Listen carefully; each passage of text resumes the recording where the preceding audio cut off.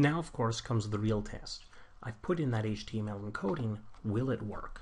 So we're going to try it here using the same tag that I did to break out of this attribute last time and create a cross-site scripting attack. And I'm also going to put in just a few other characters just so you can see what happens to them too. As you can see, all of them are successfully displayed in the browser. Down here at the bottom, I could not break out of this input tag. I could not, this script tag is not executed. It's simply considered as text. Up here at the top of the screen, the same thing has occurred. And if we look at the source, you're going to see why. Over here you can clearly see that the input was successfully encoded before being displayed in the output.